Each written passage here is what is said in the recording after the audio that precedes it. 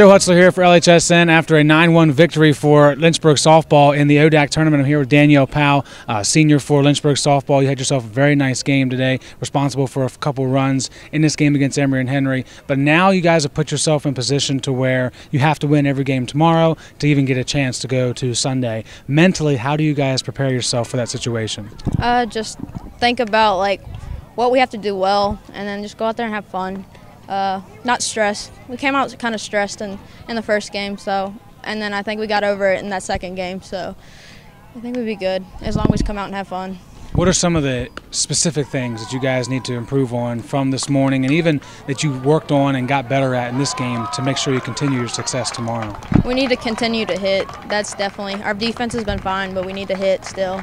That's what will keep us in the game.